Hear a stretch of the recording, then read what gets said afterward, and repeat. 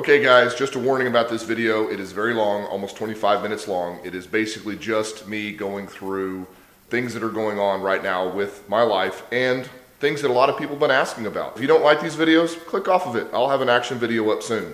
Hey guys, well, uh, figured while I'm driving, headed down here to check on the big boat, I would give everybody kind of an update of what's going on. Um, for those who follow me on Facebook, which by the way you should because I do update it from time to time with stuff that's going on. Um, we had a big setback on the Carlson this week. I uh, went to uh, actually take apart the uh, drive and do a big kind of how you uh, how you change the impeller and all that kind of video. Do a real detailed video, which I don't see a ton of those out there. So I figured I would make a uh, good one, real detailed, so everybody can look at it and see exactly how and what goes into changing an, uh, an impeller on a drive. So I went to take it apart and uh, ordered it, oh, probably a year and a half ago. Whenever we bought the Carlson, I pretty much kind of went on a spending spree and got a whole bunch of stuff. And I got it secondhand from a guy um, on eBay, um, and it came in. It looked it looked great. Held pressure. Um, it was 100%. All the oil looked great. It didn't look like a milkshake. Um, so I left the oil out of it, and it sat there gosh, what year and a half now, and went out there to work on it. Went to try to turn the the uh, what do you call it um, shaft, and it didn't want to turn. Um, put it in neutral. The lower unit worked fine, but the upper unit was just lock solid. So I pulled the top of the cap off and uh, took a look at it, and sure enough, uh, the uh, top part, or I guess the blower bearing in there, um, had basically frozen up. Apparently, there was some residual water that I didn't know about, and there is an old Comet. Wow, nice looking car. Um, anyway, so um, basically it's rusted the bottom bearings pretty much completely shut. Um, they are not working at all, they're dead. So uh, instead of trying to fix it and rig it and all that kind of stuff, uh, I think we're just going to go ahead and try to purchase either just an aftermarket upper or just an entire unit itself. Um, not really sure yet what we're going to do. I've had a lot of people comment and say, oh, why don't you just rebuild it? Well, there's a lot to rebuilding those things. You need a lot of specialty tools. Uh, I don't have those tools, and to be honest with you, I don't feel like buying those tools right now. Uh, possibly could maybe borrow them from somebody, I don't know, but uh, I'm just really not kind of in the mood to do that at this point in time. I'd much rather just buy something good. That way, whoever buys the boat knows they're getting something really awesome. So um, that's kind of where we are right now. Uh, I was really bummed about that because that's, you know, $1,300 with shipping and everything like that that um, I don't really have right now. So, I mean, I've got it, but I really don't want to spend it on that boat. We put a lot of money into it. it everything's top notch, but uh, you know what? I guess I got to do what I got to do. So, anyway, that's what we're planning on doing with the uh, Carlson right now.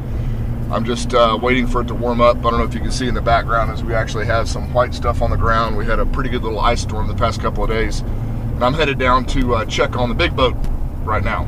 So you may ask, well, Jay, why are you going down to uh, check on the uh, big boat? Well, as a lot of you remember last year, uh, a little over a year ago, um, we had a big ice storm as well, and um, the marina collapsed on our boat.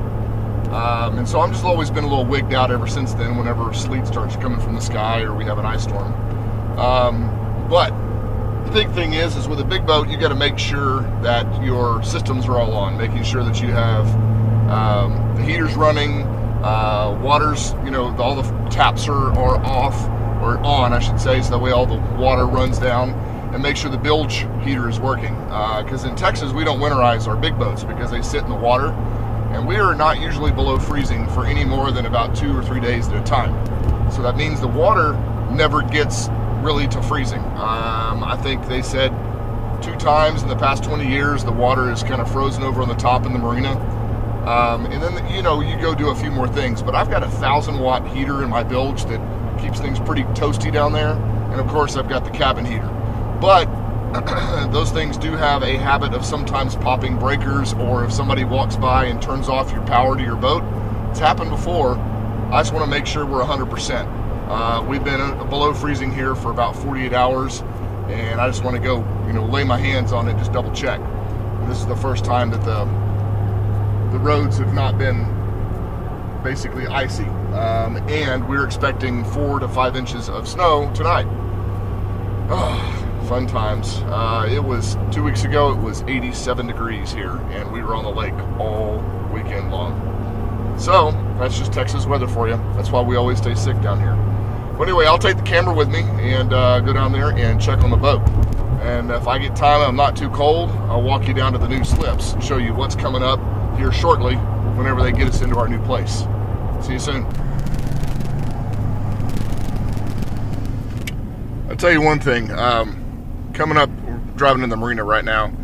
This new marina um, managers or owners, whatever they are, they have really done a great job of improving everything. Um, you see when we come up here to the uh, to the uh, brick wall here for our Pier 121, you see how now they used to have like these Miami Vice blue, like turquoise, where all the the stonework was.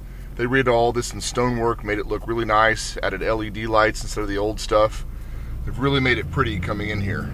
Um, they've done a huge facelift along with redoing our, uh, what do you call it, our uh, boathouse that collapsed. They're replacing, I think, 60 to 70% of all the rest of the uh, boathouses out here.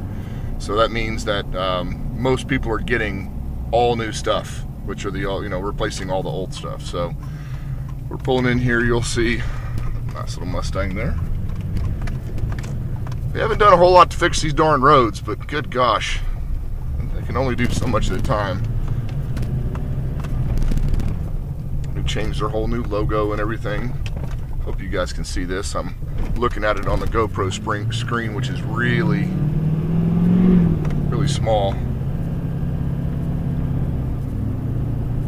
Know it's been a long time since I've done a video out here, so I figured it's about time. Too bad it's freezing cold out today. It's actually, what is it right now? 37? it's not terrible. Just as I thought, there's nobody here. But they moved the offices up here out of the main area, which is down there. Um, and those are temporary. They're going to tear down this old little yellow house over here on the left-hand side and build all new stuff.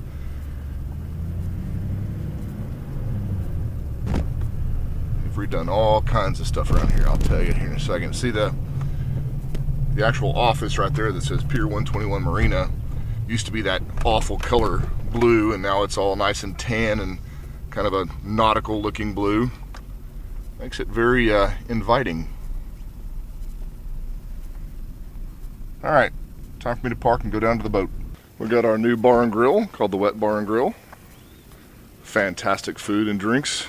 We party up here a lot. We'll pull the boats up to right here, back them up, and basically just hang out here, go get our drinks and food on the inside, and have fun. They usually put a live band up over there Friday and Saturday nights. That's why we do it. All right, see, I'm getting to the end of, we're on the opposite side of where I normally am. This is the this is the dock collapse last year. Um, I actually had a picture coming down from that area too. We're sitting right here. I took it right across the bow of this boat, looking down, and from a little bit past this white boat. Matter of fact, where that houseboat is right there, from there out all the way down, it completely collapsed from the weight of uh, ice. So they finished.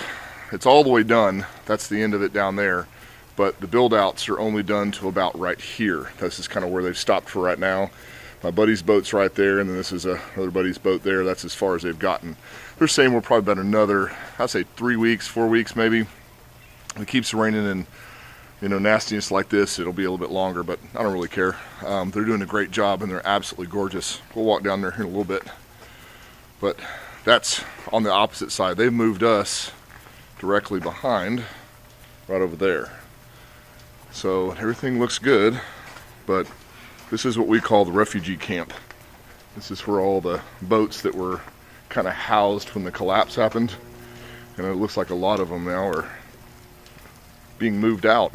Because that big boat you just saw was right there beside me, and I'm right there on the end. And I can see my heater is running, so I'm happy. But from here, which is the very end, all the way down to right about there were all what they call refugee boats. They were all people that came over from the old Thousand Dock from the collapse. And this is a very long walk. It put us over here kind of by the sailboats. And at night, or if there's any wind at all, all you hear is those things clanging and it really kind of gets annoying. Although I kind of tend to got, I got used to it after a while. But you can see the boat is still doing good. The spider netting's starting to fall down, but that wasn't there. They put me in here temporary, like I said. Whoever had it before me had that spider netting. She looks pretty good. A little bit of layer of snow or ice, whatever you want to call it, on top of her, which is fine. A lot of people ask me, well, what's that green crap? Um, what we do is we stuff foam in our intakes to keep uh, the air from doing like a chimney effect to go down inside the bilge and uh, basically kind of make it, you know, where it gets too cold. Like I said, the water does a pretty good insulating effect um, to keep, I think the water is still in the 40s right now, which keeps the bilge fairly warm. Let's go inside here. I'm going to do a quick run through on the boat, make sure everything's okay, and then I'll bring you all along. Last year when this collapsed, it ruined my enclosure. We paid a really awesome company to redo it for us cost damn near $10,000, but it's all custom made, full enclosure. It also has a curtain that goes on the inside that snaps all the way around it that blacks everything out. We call it the privacy curtain.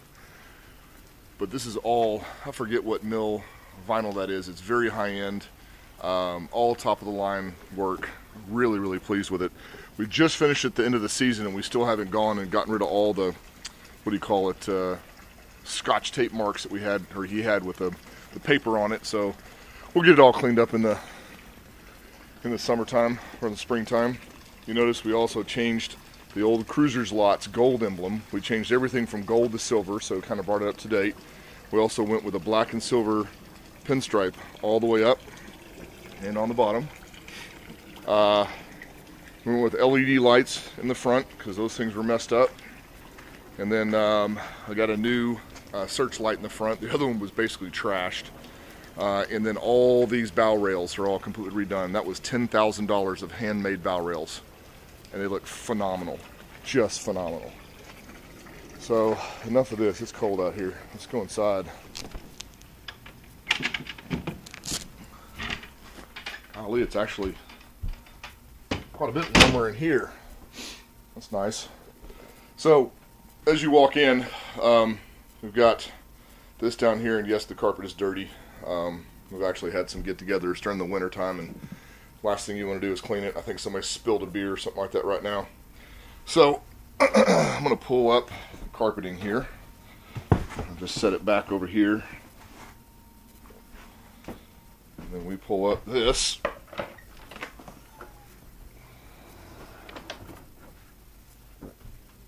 There's our engines.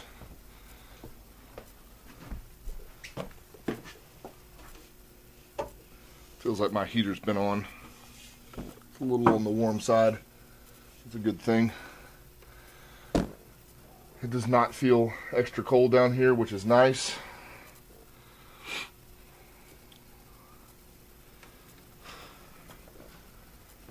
the key is also keeping your cabin heater on.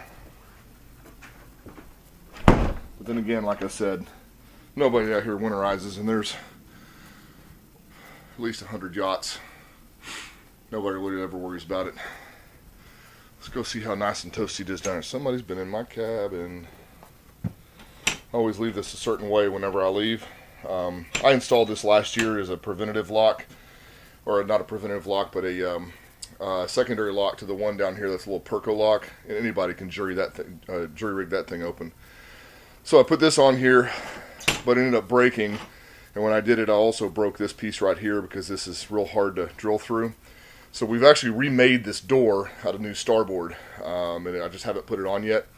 And we're going to take this off and uh, fill these back in and with epoxy, uh, the holes so that way they don't leak uh, whenever we do our our spring projects. But uh, so I always leave it in this position right here, and I can always tell when someone's because you actually have to think about it to get it back in that spot. And we've had problems with people coming in here and stealing our liquor and stuff like that. We've got a couple of kids that run around this marina. I don't care if they tell me, but they need something. But, you know. Alrighty, so we're down here, and the heater, which is right there, set to 68. It's pretty nice. I'm gonna go ahead and up it a little bit. Keep it nice and toasty down here. Oh, I was telling you about that security or the um, privacy blanket or curtains. That's what those are right there. We had them on, but uh, we came out here to have a get together, so we took them off two weekends ago. Like I said, it was 87 degrees. Um, was that high? 82, 83, something like that.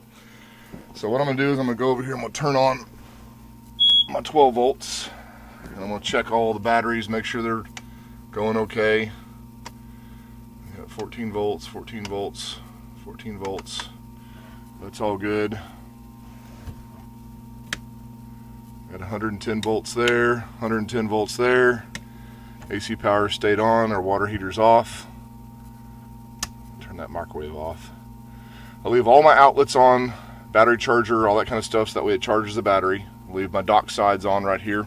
I'll do kind of a, when it gets warm and we take it out again, I'll do another little video. Now that I got my GoPro back, I can actually uh, see more. You get a wider view whenever we're doing it. So anyway, everything seems really good here. We keep our fishing poles down in here because people tend to walk off with them. yeah, definitely someone's been in here. Um, this curtain we keep pulled back, and I can tell someone slept in the bed. I don't know. One of my buddies sometimes he'll get in a fight with his girlfriend. He'll come down here and sleep sometimes, but uh, usually he calls me and lets me know. But uh, doesn't like anything's missing. Doesn't look like anything's been used. Let's see. I don't think we left anything in here. Nope, this is empty. We pretty much clean everything out in the wintertime. I guess it's time to kind of go over some upgrades that I want to do. Uh, let me show you kind of what we've done so far. Um, you may have noticed this when I walked in. We've got a upgraded um, Sony radio. Um, we got something hanging loose right here. This is on my project to move. This is my bass boost, which I'll show you that here in a second. Um, but we had a system put in here last year, a year before. This is a Kicker 1000.5. Um, I've got basically 4 gauge wire running back to a dedicated battery. This is my LED controller. So we're running that, um, and then I'm come up here, I've got a pair of Kicker 6x9s here, and then we have four Rockford Fosgate M282 wakeboard uh, or wake tower speakers. And we've got two um, L3 um, Kicker 12 inch subwoofers, and those are in a custom sealed box uh, in there to give yourself, you know, give it a nice, good hump to it, and it sounds phenomenal. Um, although you always get the I want more, so I do want more. I want more bass, but the thing is, is finding out where we want to put them. You know, that was an old refrigerator or a freezer that died, so we're getting rid. You know, that was not a big deal to get rid of that, and that slid right in there. So now, if I get any, uh, what do you call it, um, new refrigerator, we can just slide it in there and be good, good to go. Um, I was thinking about putting it right here. This is a little storage area. Is putting a couple of 12s there. However, we actually use that storage. I mean, storage is a very big premium. So, um, that's the only thing I can do. My buddy, uh, my buddy's boat, he has some bandpass boxes that he puts underneath his seat, and they're removable, um, and they sound pretty damn good. So if you need to get them out of the way or something like that, you certainly can. So I also want to do two more of the Rockford Fosgates, um, one right here and then one right here.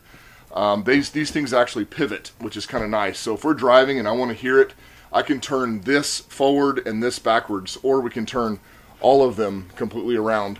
Uh, so that way the um, uh, the uh, you know the passengers get to listen to it, and it's not everybody that's behind you. When we pull up to Party Cove, or if we're, if we're out somewhere, we'll spin them all backwards, so that way everyone behind us can hear it. Let's see if I can get these LEDs to fire up. The batteries in my remote are really low. I'll keep that remote right here. It's just a little RF uh, remote. Everyone out here at the lake uses these. They're real nice. When you hit the power button, oh yeah, they're working. Look at there. Pretty much replaced all the, the lighting in here. I've got this courtesy lights. You see the how they come on there. You turn it on once and they're bright as, as you know what. Turn them off, you turn them on again, it goes red you turn it off and then go back on again, it turns blue.